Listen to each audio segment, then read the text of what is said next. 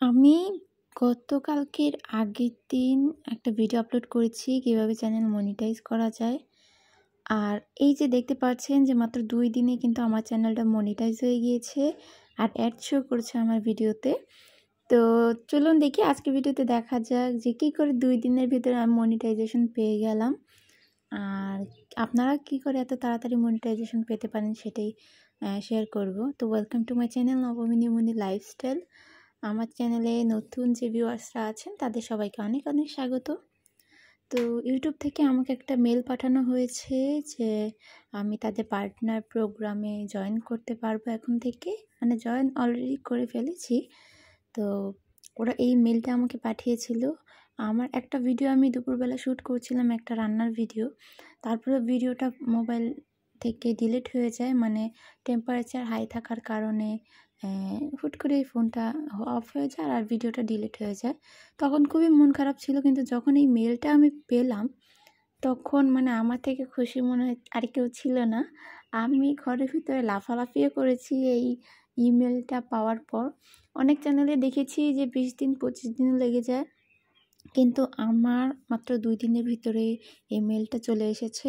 আর এর মূল কারণ হচ্ছে আপনাদের চ্যানেলে যদি এরকম দুই দিনের ভিতরে মনিটাইজেশন করতে চান, যেগুলো আপনাকে ফলো করতে হবে সে তার মধ্যে একটা হচ্ছে, সবগুলো কন্টেন্ট আপনার নিজের হতে হবে। কারণ ইউটিউব যে কমিউনিটি গাইডলাইন আছে, তার মধ্যে কিন্তু এগুলো উল্লেখ থাকে। আর দেখতে পাচ্ছেন যে ওরা যে মেল করেছে ওখান থেকে আমাকে সব যা যে ইনফরমেশন দিয়েছে বা যেভাবে করতে বলেছে সেগুলোই করেছি।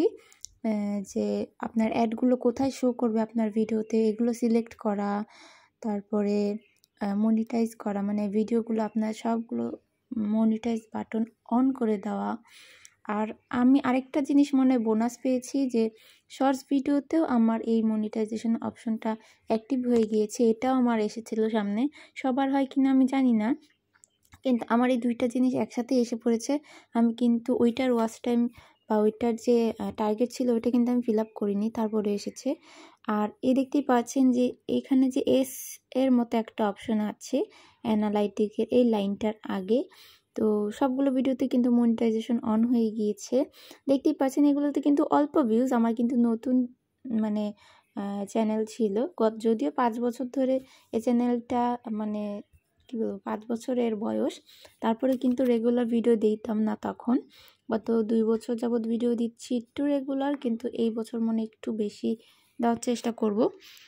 আর এই তো সবগুলো কন্টেন্ট আপনার নিজের হতে হবে। তারপর কারও কন্টেন্ট চুরি করে বা কারও যে কন্টেন্ট আপনারা ওইটাকে ডাউনলোড করে ভয়েস চেঞ্জ করে বা এগুলো যদি করেন তাহলে ইউটিউব কিন্তু বুঝতে পারে। তাদের যে টেকনোলজি তারা বুঝতে পারে। আর সেই ক্ষেত্রে কিন্তু আপনার চ্যানেলটা মনিটাইজ হওয়ার কিন্তু চান্স থাকে না। তখন কিন্তু আবার ইউটিউব থেকে অনেক রকমের নির্দেশনা আসে এগুলো সব ঠিকঠাক করার জন্য।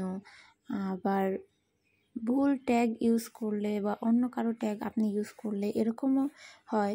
তো কমিউনিটি গাইডলাইনগুলো যদি মেনটেন করে আপনারা ভিডিও আপলোড করেন তাহলে কিন্তু এই সমস্যা আর ফেস করতে হয় না।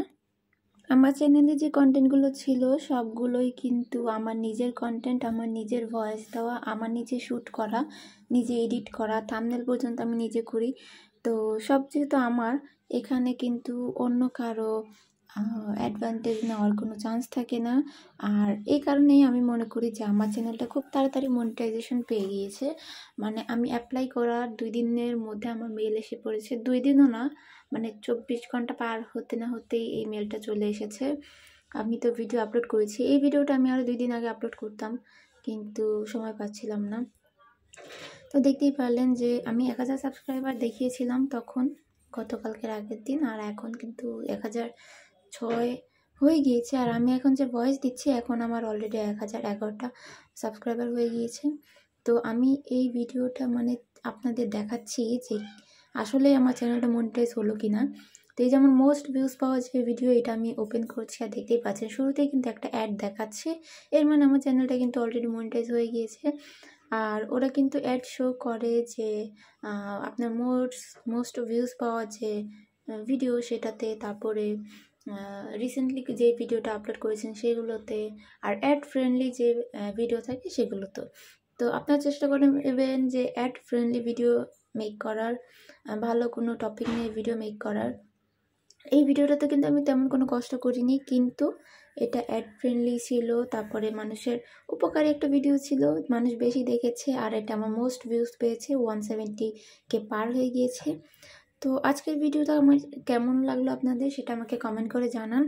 আর আমার চ্যানেলের সাথেই থাকবেন, আমাকে সাপোর্ট করবেন, বেশি বেশি ভিউজ করেন, আর আপনারাও কন্টেন্ট ক্রিয়েট করেন। ঘরে বসে এটা কিন্তু একটা ভালো একটা চান্স তো সবাই ভালো থাকবেন, টাটা!